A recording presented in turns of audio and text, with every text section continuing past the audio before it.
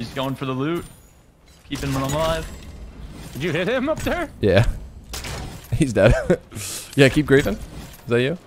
Oh, two dead.